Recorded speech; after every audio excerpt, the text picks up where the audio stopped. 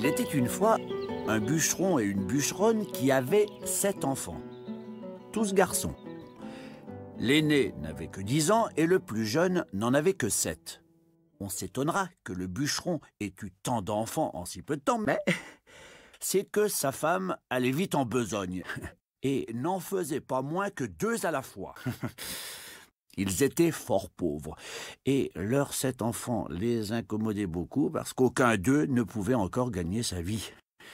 Ce qui les chagrinait encore, c'est que le plus jeune était fort délicat et ne disait mot, prenant pour bêtise ce qui était une marque de la bonté de son esprit. Il était fort petit, et quand il vint au monde, il n'était guère plus gros que le pouce, ce qui fit que l'on l'appela le petit poussé.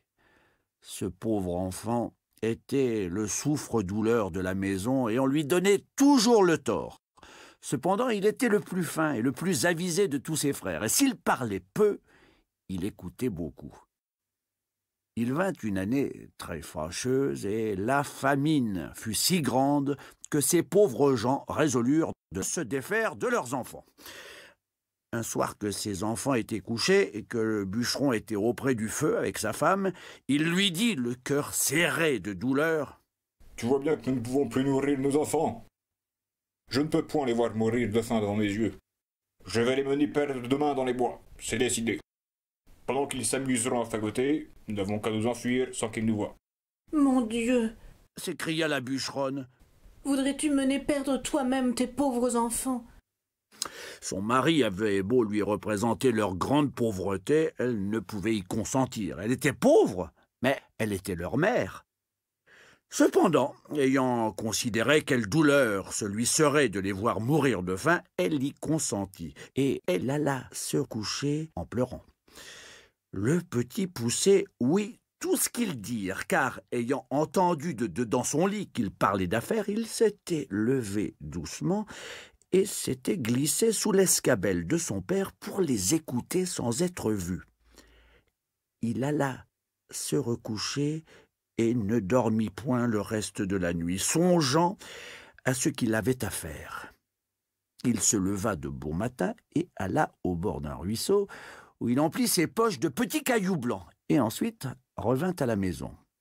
On partit, et le petit poussé ne découvrit rien de tout ce qu'il savait à ses frères. Ils allèrent dans une forêt fort épaisse où, à dix pas de distance, on ne se voyait pas l'un l'autre. Le bûcheron se mit à couper du bois et ses enfants à ramasser des broutilles pour faire des fagots. Le père et la mère, les voyant occupés à travailler, s'éloignèrent d'eux insensiblement et puis s'enfuirent tout à coup par un petit sentier détourné. Lorsque ses enfants se virent seuls, ils se mirent à crier et à pleurer de toute leur force. Le petit poussé les laissait crier, sachant bien par où il reviendrait à la maison, car en marchant, il avait laissé tomber le long du chemin les petits cailloux blancs qu'il avait dans ses poches. Ne craignez rien, mes frères, et suivez-moi. Je connais bien le chemin qui nous amènera à la maison. Vous voyez ces petits cailloux blancs sur le sentier? C'est moi qui les ai semés. Il n'y a qu'à les suivre pour rentrer au logis. Allez, Ils le suivirent et il les mena jusqu'à leur maison par le même chemin qu'ils étaient venus dans la forêt. Ils n'osèrent d'abord entrer, mais ils se mirent tous contre la porte pour écouter ce que disaient leur père et leur mère. Dans le moment que le bûcheron et la bûcheronne arrivèrent chez eux, le seigneur du village leur envoya dix écus qu'il leur devait il y avait longtemps et dont ils n'espéraient plus rien. Cela leur redonna la vie, car les pauvres gens mouraient de faim. Le bûcheron envoya sur l'heure sa femme à la boucherie. Comme il y avait longtemps qu'elle n'avait pas mangé, elle acheta trois fois plus de viande qu'il n'en fallait pour le souper de deux personnes. Lorsqu'ils furent rassasiés, la bûcheronne dit Hélas Où sont maintenant nos pauvres enfants? Il ferait bonne chère de ceux qui nous restent là. Mais aussi, Guillaume, c'est toi qui les as voulu perdre. J'avais bien dit que nous nous en repentirions. Que font-ils maintenant dans cette forêt? Hélas Mon Dieu, les loups les ont peut-être mangés. Tu es bien inhumain d'avoir perdu ainsi tes enfants. Le bûcheron s'impatienta à la fin. Oh, mais vas-tu bien te taire à la fin? Car elle Oh. redit plus de vingt fois qu'il s'en repentirait et qu'elle l'avait bien dit. Il la menaça de la battre si elle ne se taisait. Ce n'est pas que le bûcheron ne fût peut-être encore plus fâché que sa femme, mais c'est qu'elle lui rompait la tête et qu'il était de l'humeur de beaucoup d'autres gens qui aiment fort les femmes qui disent bien, mais qui trouvent très importunes celles qui ont toujours bien dit. La bûcheronne était tout en pleurs. Hélas, où sont maintenant mes enfants, mes pauvres enfants? Elle le dit une fois si haut que les enfants qui étaient à la porte, l'ayant entendu, se mirent à crier tous ensemble. Elle courut vite leur ouvrir la porte. Notre chemin. Mes enfants, mes chers enfants, comme je suis contente de vous revoir. Vous êtes bien là et vous avez bien faim. Et toi, Pierrot, comme te voilà crotté, viens que je te débarbouille. Ce Pierrot était son fils aîné, qu'elle aimait plus que tous les autres, parce qu'il était un peu rousseau et qu'elle était un peu rousse. Ils se mirent à table et mangèrent d'un appétit qui faisait plaisir au père et à la mère, à qui ils racontaient la peur qu'ils avaient eue dans la forêt en parlant presque toujours tous ensemble.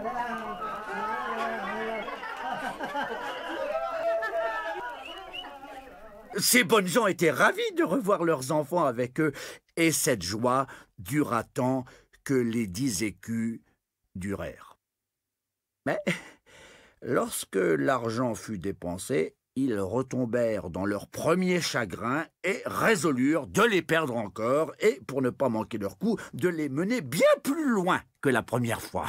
Ils ne purent parler de cela si secrètement qu'ils ne fussent entendus par le petit poussé, qui fit son compte de sortir d'affaires comme il l'avait déjà fait. Mais, quoi qu'il se fût levé de grand matin pour aller ramasser des petits cailloux, il ne put en venir à bout car il trouva la porte de la maison fermée à double tour il ne savait que faire lorsque la bûcheronne, leur ayant donné à chacun un morceau de pain pour leur déjeuner, il songea qu'il pourrait se servir de son pain au lieu de cailloux, en le jetant par miettes le long des chemins où il passerait. Il le serra donc dans sa poche. Le père et la mère les menèrent dans l'endroit de la forêt le plus épais et le plus obscur, et dès qu'ils y furent, ils gagnèrent un faux fuyant et les laissèrent là. Ne vous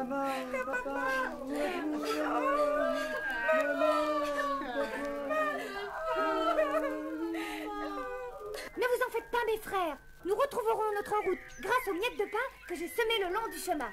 Mais il fut bien surpris lorsqu'il ne put en retrouver une seule miette. Les oiseaux étaient venus qui avaient tout mangé. Les voilà donc bien affligés, car plus ils marchaient, plus ils s'égaraient et s'enfonçaient dans la forêt. La nuit vint et il s'éleva un grand vent qui leur faisait des peurs épouvantables. Ils croyaient n'entendre de tous côtés que des hurlements de loups qui venaient à eux pour les manger. Ils n'osaient presque se parler, ni tourner la tête. Il survint une grosse pluie qui les perça jusqu'aux os. Ils glissaient à chaque pas et tombaient dans la boue d'où ils se relevaient tout crottés, ne sachant que faire de leurs mains. Je vais grimper sur ce grand arbre pour essayer de voir notre chemin. Oh J'aperçois une lumière Tout là-bas Il doit y avoir quelqu'un Allons-y vite Il descendit de l'arbre et lorsqu'il fut à terre, il ne vit plus rien.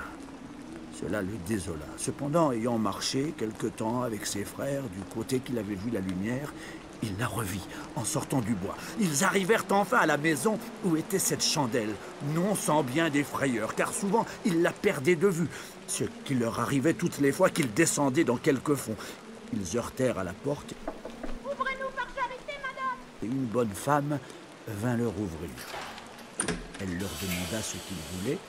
Le petit poussé lui dit Nous sommes de pauvres enfants perdus dans la forêt. Où pouvez-vous nous garder chez vous cette nuit? Pouvons-nous entrer, madame?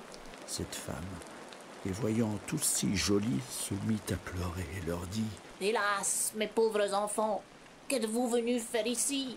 Savez-vous bien que c'est la maison d'un ogre qui mange les petits enfants? Si nous restons dans la forêt, les loups nous mangeront. Il vaut mieux que ce soit monsieur votre mari qui nous mange. Et peut-être qu'il aurait pitié de nous si vous vouliez bien l'en prier. La femme de l'ogre, qui crut qu'elle pourrait les cacher à son mari jusqu'au lendemain matin, les laissa entrer et les mena se chauffer auprès d'un bon feu, car il y avait un mouton tout entier à la broche pour le souper de l'ogre. Comme ils commençaient à se chauffer, ils entendirent heurter trois ou quatre grands coups à la porte. C'était l'ogre qui revenait. Aussitôt, sa femme les fit cacher sous le lit et alla ouvrir la porte. J'ai faim Est-ce que le repas est prêt? Voilà. Apporte-moi un pichet de vin frais, pomme, et sers-moi un souper. Et aussitôt, l'ogre se mit à table. Le mouton était encore tout sanglant, mais il ne lui en sembla que meilleur. Il fleurait à droite et à gauche, disant Je sens la chair fraîche. Il faut que ce soit ce rôti de veau que je viens d'habiller que vous sentez. Je sens la chair fraîche, te dis-je encore une fois. reprit l'ogre, en regardant sa femme de travers. Et il y a ici quelque chose que je n'entends pas. En disant ces mots, il se leva de table et alla droit au lit. Ah Voilà donc comme tu veux me tromper, maudite femme Je ne sais à quoi il tient que je ne te mange aussi. Bien t'en prend d'être une vieille bête. Mmh. Voilà du gibier qui me vient bien à propos pour traiter trois ogres de mes amis qui doivent me venir voir ces jours-ci. Il les tira de dessous le lit, l'un après l'autre. Ces pauvres enfants se mirent à genoux en lui demandant pardon. Mais ils avaient affaire au plus cruel de tous les ogres, qui, bien loin d'avoir de la pitié, les dévorait déjà des yeux, et disait à sa femme Voilà de bons morceaux que je vais déguster avec une bonne sauce. Mmh. Il alla prendre un grand couteau et, en approchant de ses pauvres enfants, il l'aiguisait sur une longue pierre qu'il tenait à sa main gauche. Il en avait déjà empoigné un lorsque sa femme lui dit Que voulez-vous faire à l'heure qu'il est? N'aurez-vous pas assez de temps demain matin? Tais-toi Ils en seront plus mortifiés. Vous avez encore laton de viande. Voilà un veau, deux moutons et la moitié d'un cochon. Oui, tu as raison, dit l'ogre. On leur donne une bonne ration de soupe pour pas qu'ils maigrissent. Et va les coucher. La bonne femme fut ravie de joie et leur porta bien à souper, mais ils ne purent manger, tant ils étaient saisis de peur. Pour l'ogre, il se remit à boire, ravi d'avoir de quoi si bien régaler ses amis. Il but une douzaine de coups plus qu'à l'ordinaire, ce qui lui donna un peu dans la tête et l'obligea de s'aller coucher.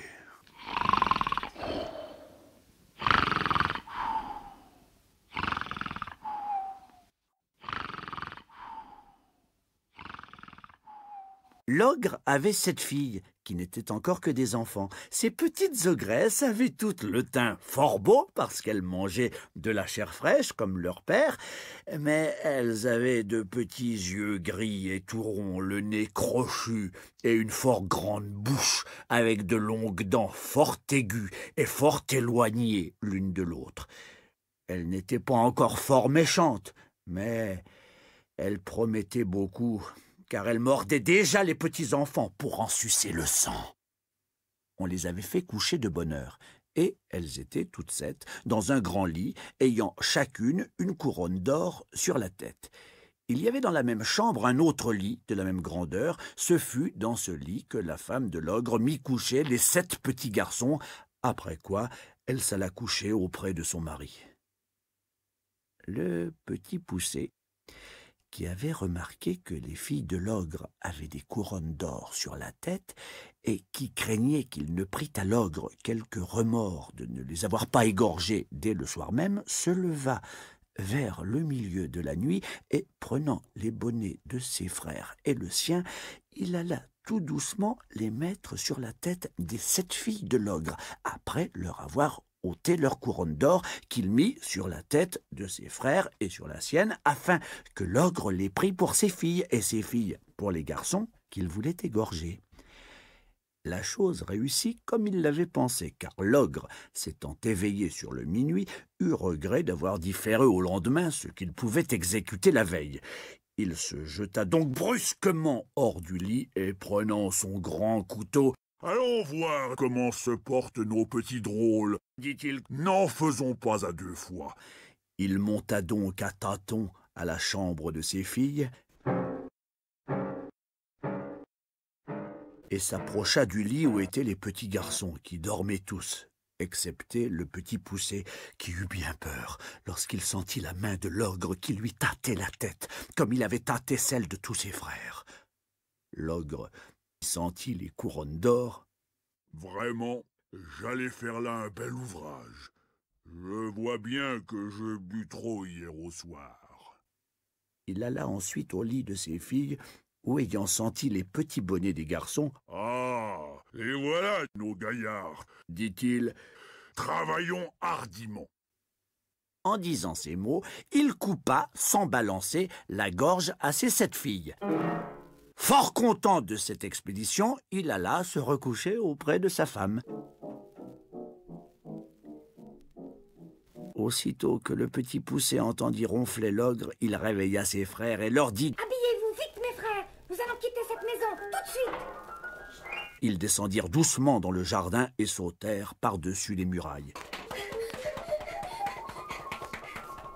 Ils coururent presque toute la nuit, toujours en tremblant et sans savoir où ils allaient.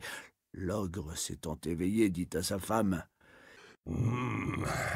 Va-t'en là-haut, habiller ces petits drôles d'hier au soir. L'ogresse fut fort étonnée de la bonté de son mari, ne se doutant point de la manière qu'il entendait qu'elle les habillât, et croyant qu'il lui ordonnait de les aller vêtir. Elle monta en haut, où elle fut bien surprise lorsqu'elle aperçut ses sept filles égorgées et nageant dans leur sang. Elle commença par s'évanouir. Car c'est le premier expédient que trouvent presque toutes les femmes en pareille rencontre. L'ogre, craignant que sa femme ne fût trop longtemps à faire la besogne dont il l'avait chargée, monta en haut pour lui aider. Il ne fut pas moins étonné que sa femme lorsqu'il vit cet affreux spectacle. Oh, qu'ai-je fait là? Ils me le paieront, les malheureux, et tout à l'heure. Il jeta aussitôt une potée d'eau dans le nez de sa femme, et l'ayant fait revenir, Donne-moi vite mes bottes de sept lieues, que j'aille les attraper. il se mit en campagne, et après avoir couru bien loin de tous côtés, enfin il entra dans le chemin où marchaient ces pauvres enfants qui n'étaient plus qu'à cent pas du logis de leur père. Ils virent l'ogre, qui allait de montagne en montagne et qui traversait des rivières aussi aisément qu'il aurait fait le moindre ruisseau. Le petit poussé qui vit un rocher creux proche le lieu où ils étaient, y fit cacher ses six frères, et s'y fourra aussi, regardant toujours ce que l'ogre deviendrait. L'ogre, qui se trouvait fort las du long chemin qu'il avait fait inutilement, car les bottes de sept lieues fatiguent fort leur homme, voulut se reposer, et par hasard il alla s'asseoir sur la roche où les petits garçons s'étaient cachés. Comme il n'en pouvait plus de fatigue, il s'endormit après s'être reposé quelque temps et vint à ronfler si effroyablement que les pauvres enfants n'en eurent pas moins de peur que quand il tenait son grand couteau pour leur couper la gorge. Le petit poussé en eut moins de peur et dit à ses frères Retournez chez nos parents Je vous rejoindrai plus tard, ne craignez rien Ils crurent son conseil et gagnèrent vite la maison. Le petit poussé s'étant approché de l'ogre, lui tira doucement ses bottes et les mit aussitôt. Les bottes étaient fort grandes et fort larges, mais comme elles étaient faites, elles avaient le don de s'agrandir et de s'apetisser selon la jambe de celui qui les chaussait, de sorte qu'elles se trouvèrent aussi justes à ses pieds et à ses jambes que si elles eussent été faites pour lui. Il alla droit à la maison de l'ogre, où il trouva sa femme qui pleurait auprès de ses filles égorgées. Votre mari est en grand danger Il a été pris par une bande de voleurs qui exige tout son argent pour le relâcher. C'est lui qui m'envoie avec ses bottes de sept lieues pour vous demander de me remettre tout son argent, très vite La bonne femme, fort effrayée, lui donna aussitôt tout ce qu'elle avait, car cet ogre ne laissait pas d'être fort bon mari, quoiqu'il mangeât les petits enfants. Le petit poussé, étant donc chargé de toutes les richesses de l'ogre, s'en revint au logis de son père, où il fut reçu avec bien de la joie.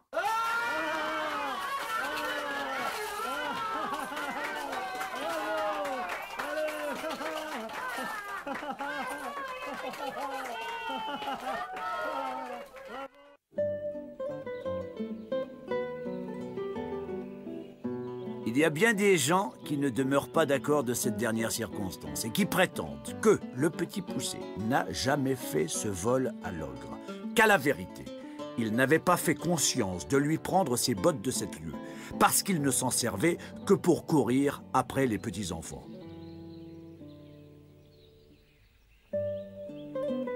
Ces gens-là assurent le savoir de bonne part et même pour avoir bu et mangé dans la maison du bûcheron. Ils assurent que, lorsque le petit poussé eut chaussé les bottes de l'ogre, il s'en alla à la cour, où il savait qu'on était fort en peine d'une armée qui était à 200 lieues de là, et du succès d'une bataille qu'on avait donnée. Il alla, disent-ils, trouver le roi, et lui dit que s'il le souhaitait, il lui rapporterait des nouvelles de l'armée avant la fin du jour.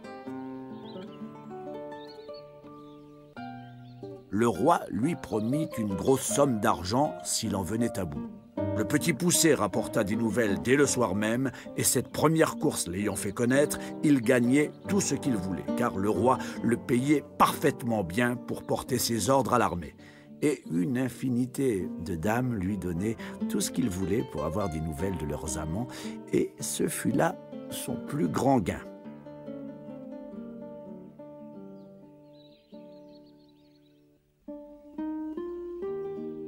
Il se trouvait quelques femmes qui le chargeaient de lettres pour leur mari, mais elles le payaient si mal et cela allait à si peu de choses qu'il ne daignait mettre en ligne de compte ce qu'il gagnait de ce côté-là. Que tant le métier de courrier et y avoir amassé beaucoup de biens, il revint chez son père, où il n'est pas possible d'imaginer la joie qu'on eut de le revoir. Il mit toute sa famille à son aise. Il acheta des offices de nouvelles créations pour son père et pour ses frères, et par là, il les établit tous et fit parfaitement bien sa cour en même temps.